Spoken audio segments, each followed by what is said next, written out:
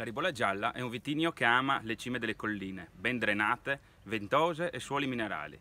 La sua maturazione è lenta, si vendemmia a fine settembre, inizio ottobre e questo, grazie all'escursione termica, aiuta a sviluppare profumi e aromaticità molto intriganti. Il grappolo è di media grandezza, gli acini sono medio-grandi, notevole è la presenza di polpa e la buccia è spessa.